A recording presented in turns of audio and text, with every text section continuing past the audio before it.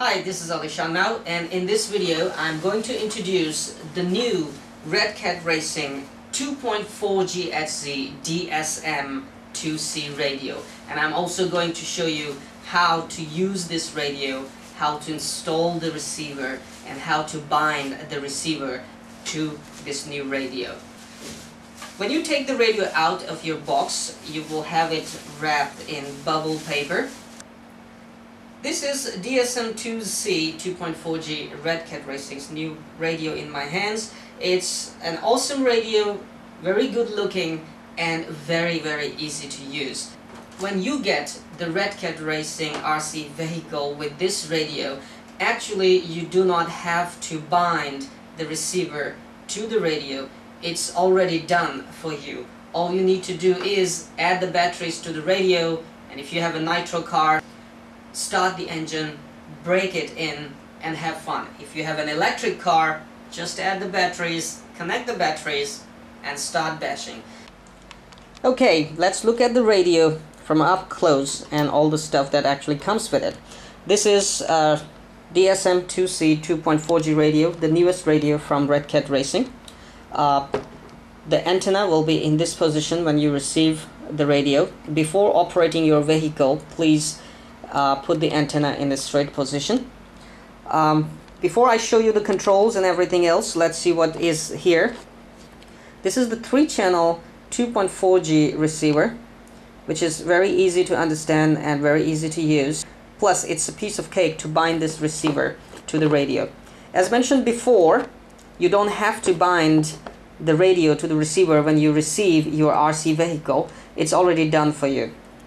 This is your bind cable just in case if you want to use other RC vehicles with the same radio all you need to do is buy a new 2.4G 3-channel receiver from Red Cat Racing. After you buy this you can use the bind cable to bind this receiver to your radio after which the same radio you can use two or three different cars. Alright getting to the controls and before that let me add 8 ASI's batteries.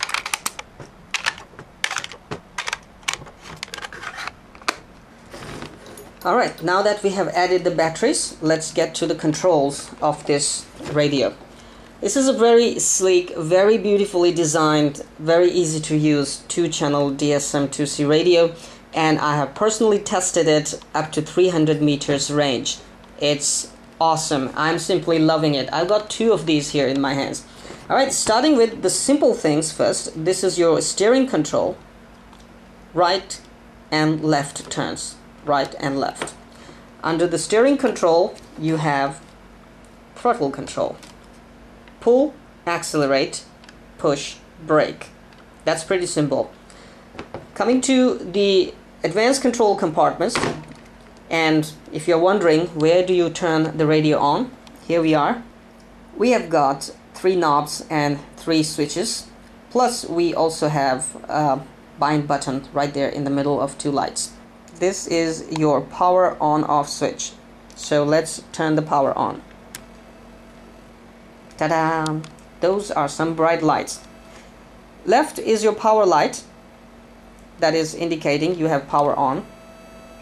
And right side you have the green LED which actually shows whether the batteries are full or batteries are running low. So if it is green, you have full batteries. If it is not, you have weaker batteries, you should replace them. Alright, let me turn it off because it's too bright. On top of the battery indicator LED, you have throttle reverse switch. This means if you pull the throttle and you get brake and you push the throttle and your car takes off, you need to reverse your throttle. In that case, simply flip it to the other side and it will fix the problem. At the moment, I will leave it where it was. Similarly, at the left on top of the power LED, you will see steering reverse switch. Well, I don't have to describe, I think you already know what it does. For example, turning right, your car turns left, and turning left, your car turns right, you know what to do. Simply find the steering reverse switch and reverse or put it on the normal side. This will solve the problem.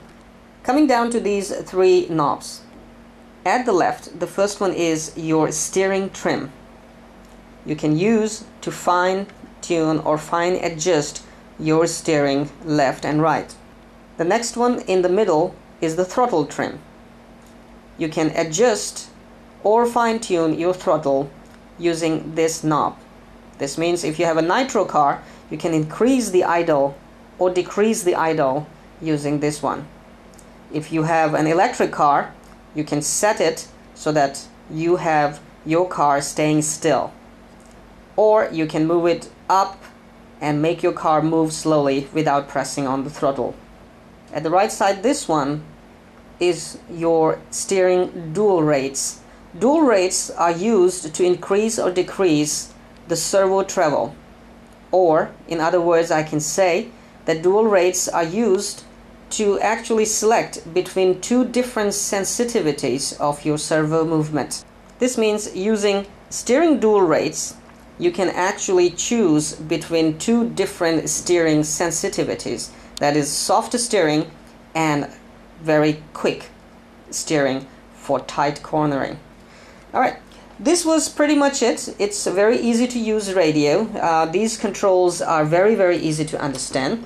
The next thing I would like to show you is how to bind your 2.4G 3-channel receiver to your 2-channel radio.